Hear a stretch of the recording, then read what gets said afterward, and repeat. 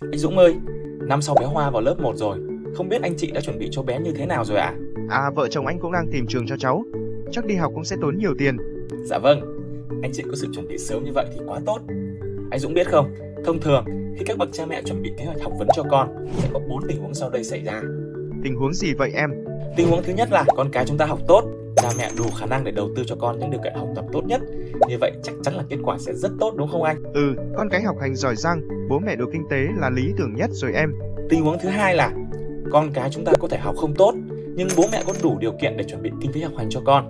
Vậy theo anh kết quả sẽ như thế nào ạ? Theo anh thì nếu bố mẹ có khả năng cung cấp điều kiện học hành tốt nhất thì khả năng cao kết quả cũng sẽ vẫn tốt. Dạ vâng, em cũng cùng quan điểm với anh ạ.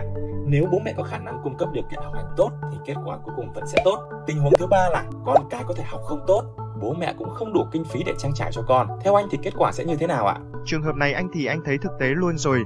Thế thì tương lai của bọn trẻ cũng chả đi tới đâu được em ạ. À. Đúng là như vậy ạ.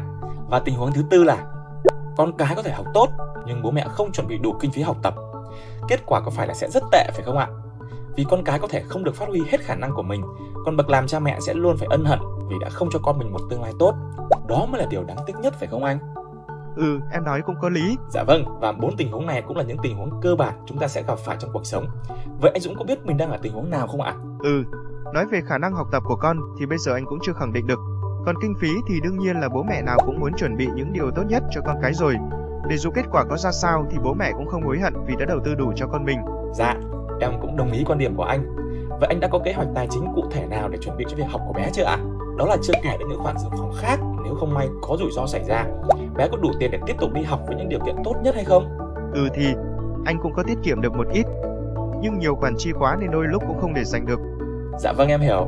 Vậy anh Dũng ơi, nếu bây giờ có một giải pháp để giúp anh chuẩn bị những kế hoạch học vấn tốt nhất cho con và còn đảm bảo rằng dù có chuyện gì xảy ra thì kết quả vẫn tốt, không phải rơi vào tình huống tệ nhất, liệu em có thể chia sẻ với anh chứ? Ừ, dĩ nhiên rồi em.